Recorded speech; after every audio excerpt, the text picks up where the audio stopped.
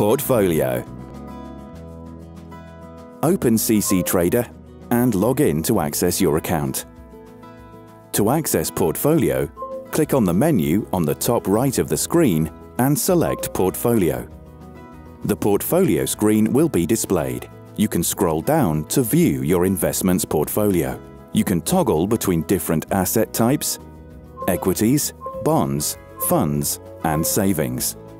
For more information about an investment you hold, you can select the instrument and click the Details button. Details are constantly updated live. You can choose between Details, Charts and News.